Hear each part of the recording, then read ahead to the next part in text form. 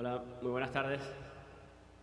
Vamos entonces a dar inicio a la, a la sesión del jueves en la tarde del foro técnico de la CNIC.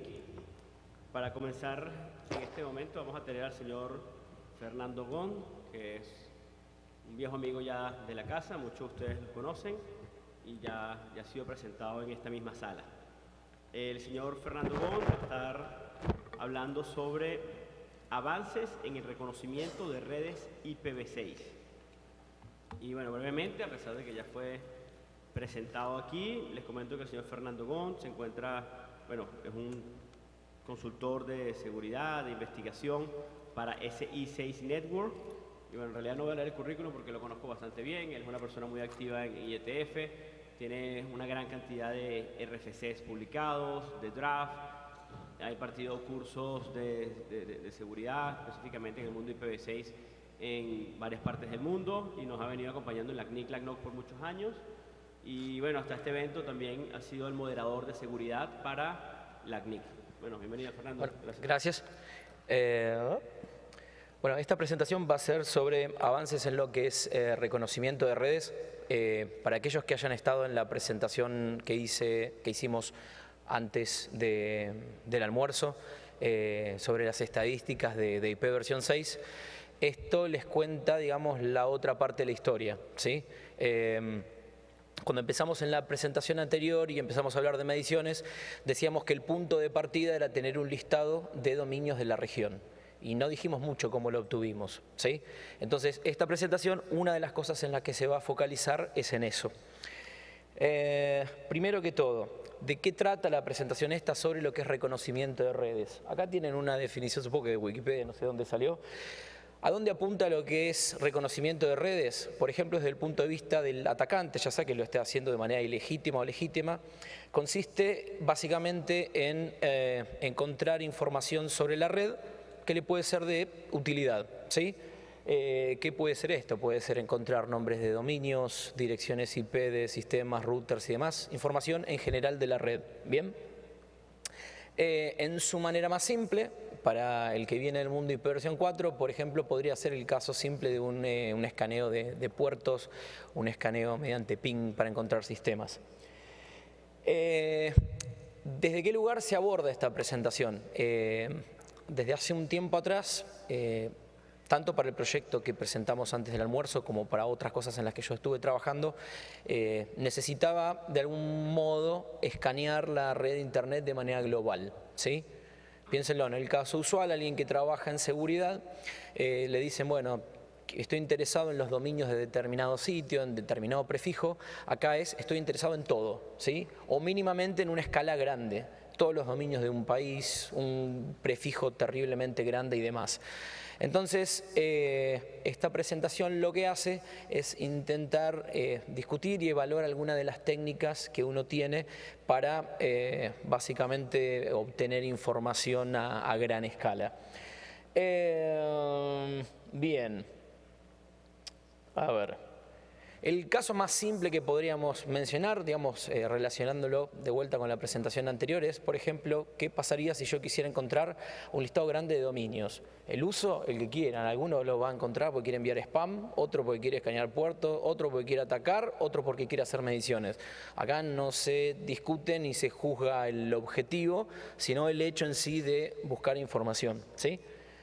Eh, una de las cosas que, suceden cuando uno está trabajando en cosas de reconocimiento de redes es que hay determinadas técnicas que a una pequeña escala funcionan, pero cuando uno quiere llevarlas a mayor escala no funcionan ni un poco. En algunos casos hay que adaptarlas, hay que adaptarlas, en otros casos básicamente tienen que probar con algo completamente diferente porque no, no, no funciona en absoluto.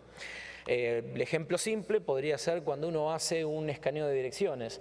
Lo hacen en un barra 24 en versión 4, va perfecto quieren escanear de la misma manera por fuerza bruta un barra 64 en versión 6, la cuestión no funciona. ¿sí?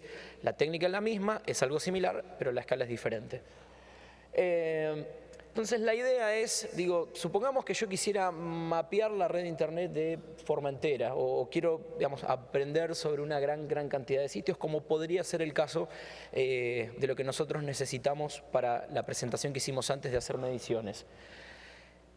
¿Qué, tipo de cosas se puede hacer? Bueno, acá obviamente uno depende en, cierto punto del target, de dónde uno apunte. Si uno lo mira de manera bien global, si así se quiere, sin focalizarse en ninguna región ni país en particular, una de las cosas más elementales que uno puede hacer es obtener listados de dominios. ¿sí? ¿Qué tipo de listados hay disponible? ¿Qué cosas contienen? Bueno, los más conocidos y, digamos, eh, disponibles de manera más simple son originalmente el que publicaba Alexa, que creo que está fuera de circulación ahora, pero bueno, muchos de nosotros tenemos como copias, por así decirlo, y de ahí en más hay al menos dos eh, empresas que publican listados de sitios populares. Eh, Umbrella creo que es una compañía de Cisco, creo, o algo de ese estilo, y esa otra compañía, Majestic, no sé si hacen algo relacionado con, web, algo de ese estilo. Lo que hacen es, publican, el, creo que es un millón de sitios más populares a nivel global, ¿está bien? Eh, no hace falta ni siquiera que los vayan a buscar, yo los puse, pero por una cuestión de practicidad mía, porque los uso de manera frecuente, están en un repositorio de GitHub, entonces los pueden bajar de manera bien, bien simple. ¿Sirve esto? Sí, claro. O sea, para un montón de cosas, sí. Si uno quiere hacer mediciones a, nivel general, acá tiene los sitios a nivel mundial más populares. Sí, obviamente esto no funciona si uno, por ejemplo, está interesado en dominios de determinados países. O sea, no sé si habrá algún sitio, por ejemplo, Argentina en esta lista, pero difícil, y si hay, hay pocos. ¿Qué otras cosas se pueden hacer? Bueno, para mi sorpresa, si se quiere, eh, o sea, no, yo no, no, no, trabajo con un nick ni por casualidad, eh, pero cuando me puse a buscar sobre, digo, a ver, se pueden encontrar, eh, se puede encontrar información sobre dominios, por ejemplo, si uno quiere medir, y acá varía mucho la cosa. Ejemplos, eh, la gente de ICANN pone, pone de manera disponible para los usuarios la zona entera de algunas zonas en particular, por ejemplo, .org lo pueden conseguir entero, ¿sí? no hace falta hacer nada raro, o sea, es desde ese sitio tienen que seguir un procedimiento, pero nada del otro mundo.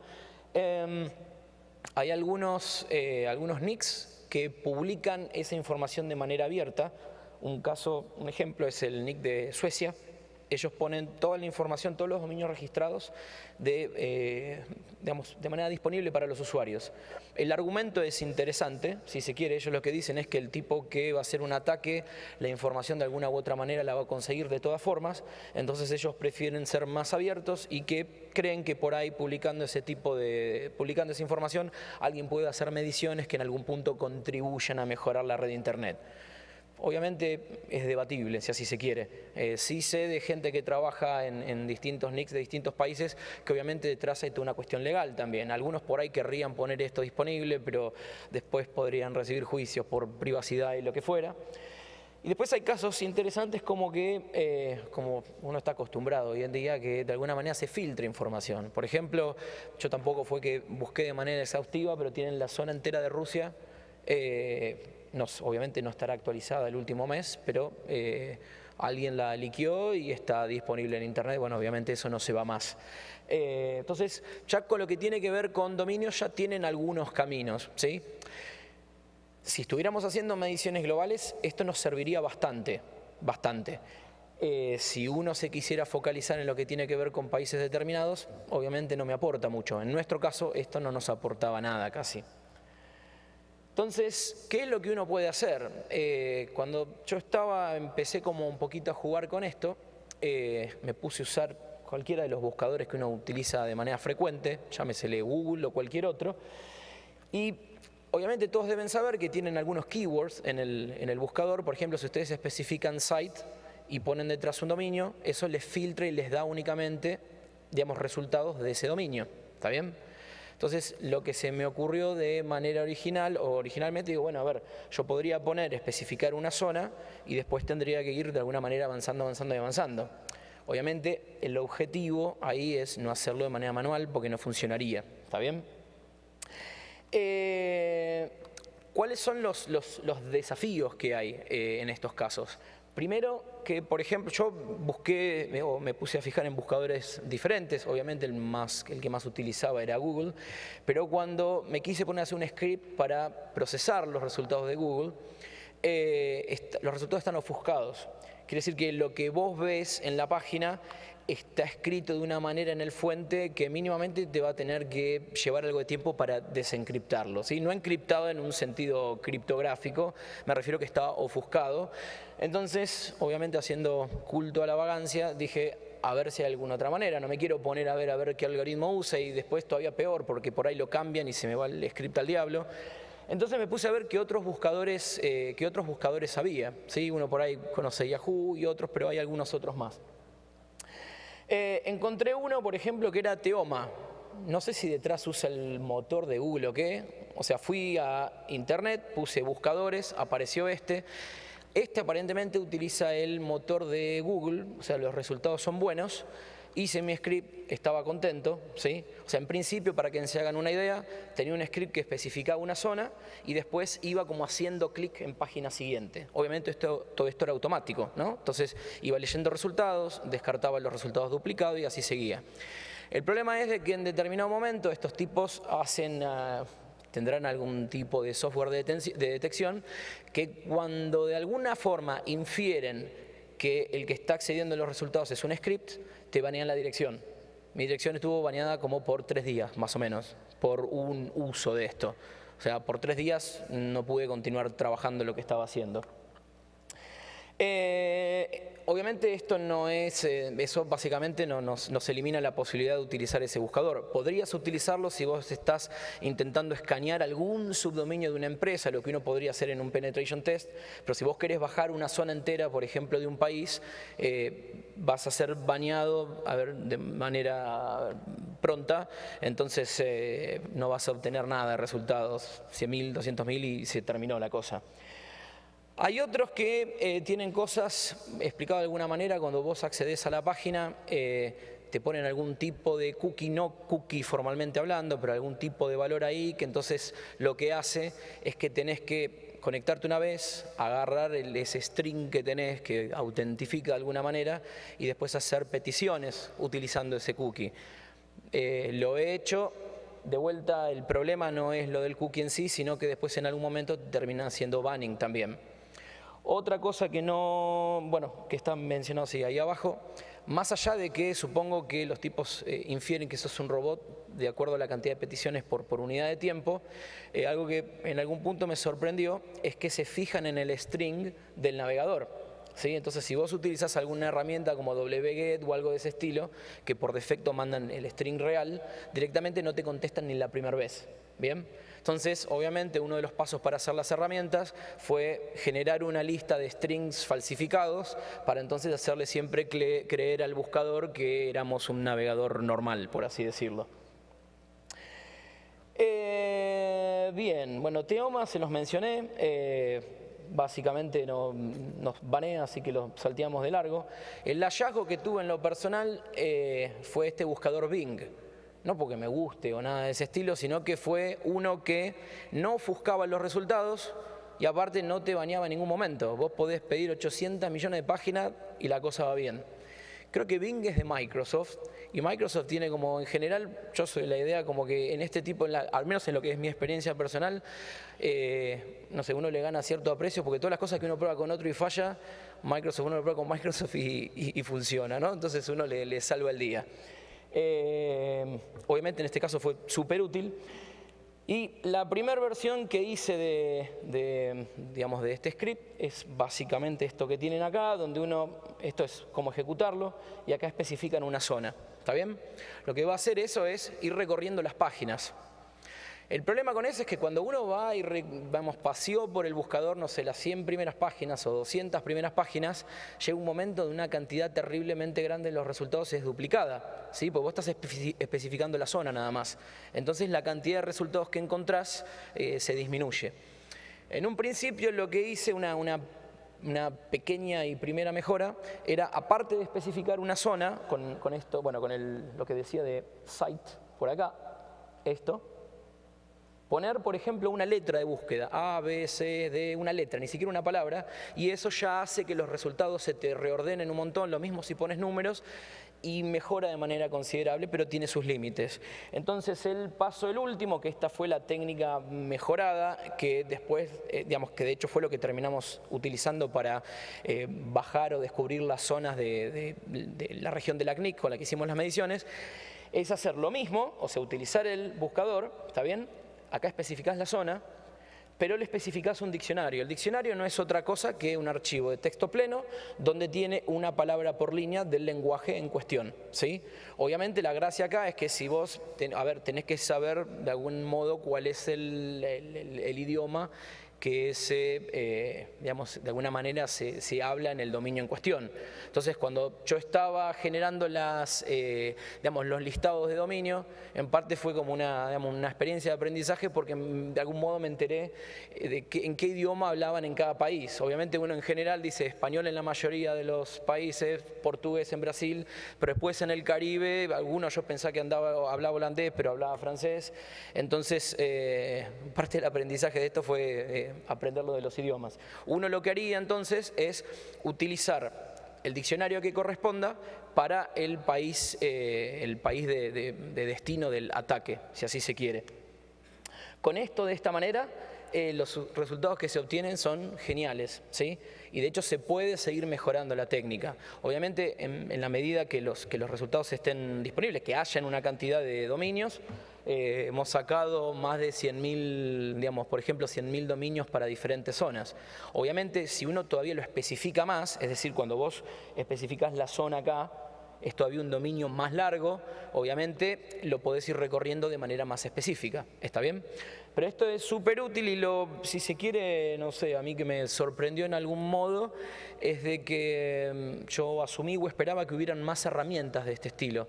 Encontré algunas, algunos amigos me enviaron algunas herramientas que hay como para descubrir dominios, de las que yo chequeé, eh, no fueron tan efectivas, o sea, la mayoría no me obtenía más de 10.000 resultados. Me dio la sensación, en base a lo poco que las probé, las otras, hay algunas que se llama Sublister y hay otras, otras más, que apuntan de algún modo a subzonas específicas. Es como si vos me decís, bueno, quiero eh, dominios que están debajo de FRH, UTN, Eduard, ahí sí te sirven, porque son pocos los dominios que van a buscar. Ahora, si lo querés usar como más en masa, de decir donde la cantidad de dominios va a ser mucho mayor, eh, por algún motivo no, no, no, no funcionan. Eh, hay algunas herramientas que utilizan resultados de buscadores. Eh, en algún punto, sorprendentemente, yo no vi, al menos no la encontré, que utilicen diccionarios. ¿sí? Eh, el tema de usar diccionarios de alguna manera es lo que hace que la, la, búsqueda parezca más una búsqueda, si se quiere, real o humana. ¿Qué más? Como comentario como al margen, eh, el título de esta presentación es Avance en cosas de reconocimiento. ¿sí? Entonces van a ver que hay distintos aspectos de cosas de reconocimiento de redes. El primero fue, por ejemplo, encontrar dominios, ¿sí? Ahí lo dejamos. Ahora yo voy a hacer algunos comentarios en lo que tiene que ver con eh, reconocimiento de direcciones. O sea, jugar con las direcciones es otra historia acá. Obviamente va a depender un montón de, primero, qué protocolo estamos hablando. Versión 4 obviamente es facilísimo, o sea, no hay ni nada que discutir ahí. Versión 6 es algo más, más complicado. La, cosa que yo quise, si se quiere, eh, medir o investigar un poco en esto es la siguiente. Eh, si uno se fija en los últimos años, hay estándares que se actualizaron, entonces con, no sé, todas, pero a ver, ciertamente lo hace Mac, lo hace Linux y creo que FreeBSD también, reemplazaron el esquema tradicional de poner la dirección Mac en, el identificador de interfaz por utilizar un valor aleatorio, ¿sí? Obviamente eso, desde el punto de vista defensivo, está bueno, desde el punto de vista del tipo que quiere atacar, no. ¿Sí? Estamos jugando de los dos lados de alguna manera. Eh, y lo que yo intenté investigar en este caso es, ya que las eh, implementaciones habían sido actualizadas, es decir, se reemplazó el esquema ese tradicional por este de números aleatorios, a ver si había habido un cambio en el mundo real, si así se quiere. O sea, sí, la norma cambió, las especificaciones cambiaron, pero bueno, yo cuando voy a hacer un escaneo en una red real, ¿hay algo diferente o está todo como antes? Bueno, estas son eh, mediciones que realicé para hacerlo simple, son mediciones para las cuales utilicé el listado de dominios de Alexa, ¿sí? entonces son de dominios populares a nivel global, donde lo que hice fue, eh, básicamente para, todos las, para todos los dominios, obtener registros cuádruple A y analizar el tipo de identificador de interfaz. ¿Sí? quitándole el formalismo y dicho de otra manera, si yo me fijo en los 64 bits de abajo de una dirección IP versión 6, a ver qué patrón siguen. ¿sí? Si uno ve los resultados, en principio miremos tres de ellos, este de acá, ¿sí? son identificadores de interfaz que incluyen una dirección IP versión 4. ¿sí? Eso es bastante común en lo que son servidores, estimo yo, porque son, terminan siendo direcciones más, más simples, más fáciles de recordar y demás. Estas son todas predecibles o tienen patrones súper claros, así que desde el punto de vista del atacante es bueno. Tenemos estas de acá que son aleatorizadas, ¿sí? Eh, eso es una, yo había realizado este tipo de medición hace años atrás y no habían tantas aleatorizadas. La única cosa que a mí me resultó extraña es que si el análisis que uno hace es, bueno, mira, las direcciones antes incluían la MAC, eso se cambió por algo que, se, que, digamos, que elige números aleatorios, entonces todo lo que antes eran direcciones MAC ahora tendrían que pasar a ser valores aleatorios. Bueno, no fue el caso. O sea, no, no, tengo una, no encontré una explicación de, por qué aparecieron tantas direcciones con, con, valores aleatorios. No es que migraron las que incluían la MAC a direcciones aleatorias, no, no lo pude explicar eso. Eh, pim, pim, pim, pim. Bueno, esto es para la anterior que teníamos acá, era para, eh, son distintos datasets, este es el de Umbrella, esto es de Majestic y demás, simplemente listados diferentes de dominios. Muchos de los dominios seguramente se reutilizan en ambos. ¿Qué conclusiones tenemos eh, acá? Bueno, que por un lado hubo un incremento en direcciones aleatorias. Muchas direcciones que antes eran predecibles, ahora son aleatorias. Desde el punto de vista del atacante, eso dice, bueno, si intentás encontrar sistemas escaneando direcciones, seguramente ahora vas a encontrar menos. Positivo del lado de defensa, si uno está jugando de ese lado, eh, no tanto desde el lado del atacante, si se quiere.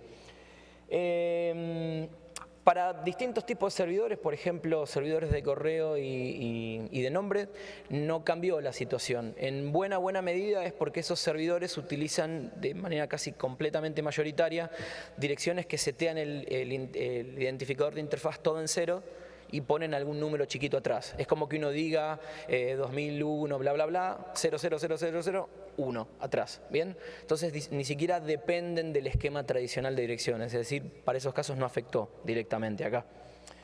Eh, y la otra cosa que mencionaba es que pese a que uno esperaría o uno hubiera esperado que lo que cambia es que aquellas direcciones que se basaban en la Mac ahora son aleatorias por el cambio que hubo en el estándar, eh, los números no muestran eso, o sea, no, no, le encontré explicación, la verdad. Eh, algunas cosas o algunos comentarios varios. ¿sí? Muchas de estas cosas son experiencias de utilizar técnicas de reconocimiento a gran escala. O yo en muchos casos no estoy eh, introduciendo o explicando la técnica porque la doy por, asumida, de hecho algunas de estas cosas las he explicado en otras oportunidades, sino más bien estos son como lecciones o cosas que uno ha aprendido escaneando redes. ¿sí? Em, alguno debe haber escuchado de los mapeos inversos. ¿sí? En su forma más elemental es cuando uno, dado una dirección IP, puede obtener un nombre de dominio. ¿Está bien? Es por eso que cuando hacen, no sé, un traceroute, no solo les aparece la dirección, sino aparte los, nombres de dominio correspondientes. En el caso de lo que es IP versión 6, hay una técnica que, sin entrar en detalles, te permite utilizar los mapeos eh, inversos para descubrir dominios. ¿sí? Y uno es terriblemente efectiva, la técnica para encontrar, eh, encontrar dominios, terriblemente efectiva. Ahora, yo tuve algunas experiencias utilizando esto a, escala masiva, si así se quiere. Tenía un montón de máquinas corriendo, escaneando cosas, ¿sí? Y un buen día, cuando me acordé, la dejé un tiempo y cuando vuelvo a la máquina veo que tenía un log inmenso. Entonces me puse contento porque dije, bueno, debo haber, en, no sé, evidentemente la técnica fue súper efectiva. Y me pasó con varios casos cosas de este estilo, ¿sí? Hay prefijos, por ejemplo, yo acá estaría escaneando seguro los, primeros 16, bueno, barra 48, una cosa así. Y hay muchísimas organizaciones que utilizan como comodines para los mapeos inversos, que supongo desde el punto de vista de defensa sirve, desde el punto de vista del atacante le, básicamente le jode toda la técnica. O sea, yo tenía 3 GB de lo mismo. Eh, aplica a muchos, ¿sí? no sé, Deutsche Telekom hace este tipo de cosas, acá tienen, esto era, upa, un rango de, un rango de direcciones de Yahoo y lo mismo aplica a muchos. El punto donde, en algún, digamos, donde eh, me gustaría, si se quiere llevar un poco esta técnica, va a haber que identificar los rangos que están siendo marcados con comodines para que la herramienta no te tire todos estos datos que son en, vano. Obviamente, eh, si bien uno podría haber pensado en hacerlo tipo mediante un script, la realidad que esto fue eh, inspeccionándolo casi a mano, ¿sí? inspeccionándolo casi a mano. Entonces, entonces, una de las cosas aprendidas con esto, en lo que son mapeos inversos, cuidado con los comodines porque hay muchísimos eh, rangos de direcciones que están marcados con comodines. Eh, ¿Qué más? Otra de las cosas es de que en principio uno puede caminar el árbol inverso con cualquier longitud de prefijo. ¿sí? Uno puede decir empiezo con 32 bits y lo voy caminando. Se, se camina como un árbol, no voy a entrar en la técnica acá.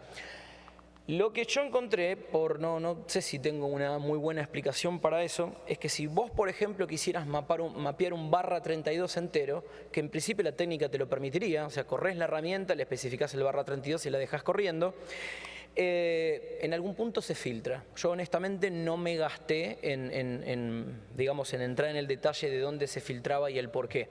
Pero sí detecté que cuando intentaba barrer prefijos súper grandes, los resultados eran todos nulos. Bien, entonces lo, aprendido de esa lección es que si vos, por ejemplo, tenés eh, un barra 32 que querés mapear, va a ser mucho más, eh, vas a tener muchos mejores resultados si ese barra 32 lo partís en un montón de barras 48, ¿sí? O sea, si es de ese barra 32, querés mapear los barra 48 eh, correspondientes por separado. Dicho de otra manera, si al querer mapear un prefijo, que es un barra 32, obtenés resultados nulos, intenta ahora de separar eso en barra 32 porque por ahí es que está siendo filtrado, no que el mapeo inverso no está funcionando. Eh, ¿Qué más? Bueno, y por último, que era, pensabas ver si lo hacía, ¿cómo vengo con el tiempo? ¿Bien?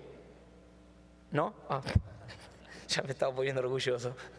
Eh, por último, eh, hay muchas de estas técnicas que están, eh, eh, digamos que están por separado, es decir, hay alguna técnica que te permite aprender dominios mediante motores de búsqueda, algunas que te permiten obtener, digamos, dominios o prefijos mediante mapeos inversos, pero están todas separadas por todos lados. Si vos querés de algún modo integrar eso, que sería lo lógico, digo, si mañana te contratan para hacer un pentest, vos no te interesa estar manipulando todo eso a mano, sino querrías especificar, no sé, un prefijo o un dominio, eh, no está integrado. Entonces, eh, algo que hice fue una herramienta terriblemente preliminar, o sea, tiene un montón de cosas que hay que mejorarle, un montón de cosas, eh, pero básicamente, opa, básicamente la herramienta lo que hace es esto, el nombre al margen, obviamente lo único que importa este año es la Copa del Mundo, creo que es la última oportunidad que tenemos para ganarla, está bastante complicado, entonces eh, a modo de voto de confianza eh, le pusimos el nombre de, nuestro, nuestra esperanza para la Copa del Mundo. Em, ¿Qué es lo que hace la herramienta esta? Bueno, básicamente lo que mezcla es el mapeo, el, eh, digamos, los, los mapeos de direcciones por DNS reverso, eh, los mapeos por motores de búsqueda y lo que hace es, por ejemplo, utiliza un buscador, suponete que vos querés, eh, no sé, querés hacer un pentest de LACNIC, ¿sí? Entonces le especificarás al buscador que querés todos subdominios, dominios dentro de lo que es la parte de lacnic.net, ¿sí? La herramienta obtiene todos esos dominios, a partir de los dominios obtiene las direcciones IP, servidores de correo, servidores de DNS, ahí obtiene una cantidad grande de direcciones IP y ahora partiendo de las direcciones IP, mediante mapeos inversos, intenta obtener dominios. Entonces es un proceso iterativo, si así se quiere. Agarro dominios, obtengo direcciones, a partir de las direcciones obtengo más dominios, a partir de esos dominios más direcciones y demás, hasta que en algún punto se supone que la cosa converge, ¿sí? que no descubrís ni más dominios, no descubrís más direcciones y el proceso se termina.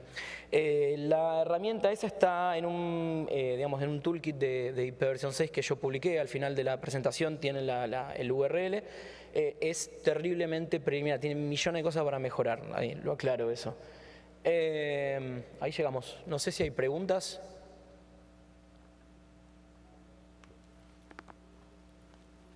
Eh, buenos días. Eh, tenemos una pregunta remota de Dani de Costa Rica. Dice, ¿la obtención del dominio se realiza de la misma forma para IPv4 e IPv6?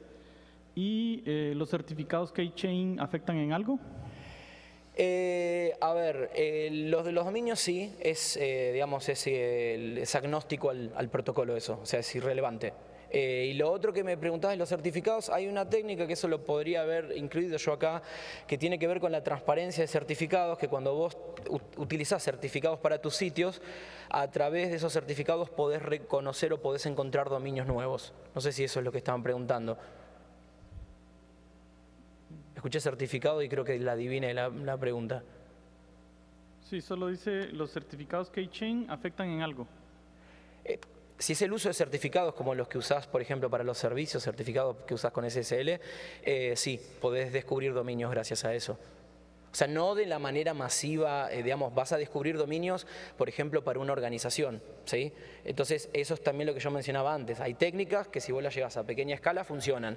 Si vos querés hacer algo masivo, decir, quiero obtener todos los dominios de un país, no te funciona también eso. O salvo que lo utilices en adición a esto, ¿sí? O tuviste todo el listado de dominios a más grandes rasgos, y una vez que tenés esa lista, utilizando otras técnicas, por ejemplo lo de transparencia de certificados, ahí por ahí podés obtener dominios extras.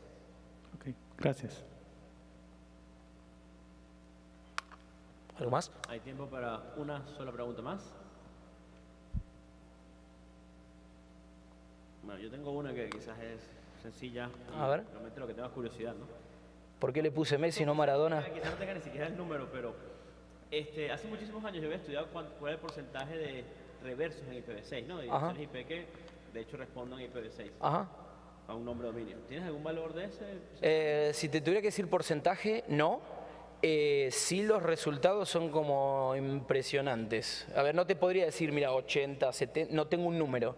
Ahora sí te puedo decir de que es sorprendente. De hecho, a ver, yo lo pruebo con, con todo, lo probé con el dominio de la CNIC, lo probé con todos y la información que encontrás es súper interesante. De hecho, eh, como obviamente obtenés todos los nombres, es ingeniería, punto no sé qué, payroll, punto no sé cuánto, que no solo, a ver, lo interesante por ahí de la técnica, más allá de que estás encontrando sistemas, es que obviamente como son dominios son nombres descriptivos.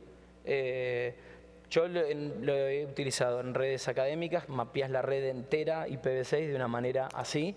Eh, súper efectivo. Si no tengo un valor que no hice una, no, no, no hice una estadística, por así decirlo. Hay mucha información en el reverso que es muy valiosa para un atacante, indiscutiblemente. Sí, de hecho, a ver, los ejemplos más claros que, digo, no sé si los sitios están tan contentos, pero digo, los que a veces damos charla de estas cosas, los propios RIRS, o sea, vos chequeás el de la CNIC, el de RIPE y demás, y tenés un listado inmenso de dominios. Eh, Después, obviamente, como todo es discutible, alguno te puede decir, mira, que esté esa información ahí, en principio no, tenemos problema porque, no sé, estarán las cosas filtradas o qué sé yo qué cosa, pero sin duda para el atacante es información jugosa eso. Eh, partiste de, algo que ya sabes a dónde puedes ir y gracias a que son nombres de dominio también tenés una idea de a qué se dedica el equipo. A ver, si yo estoy, no sé, en búsqueda de, no sé, robo de patente de algo, robo de alguna actividad de ingeniería, y la máquina que es ingeniería punto no sé cuánto o cosas de ese estilo, eh, las hace más.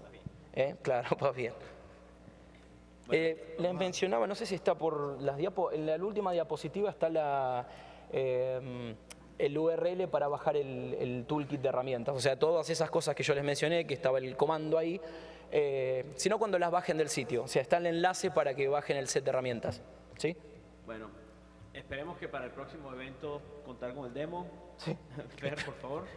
Y bueno, un aplauso para Fernando, por favor.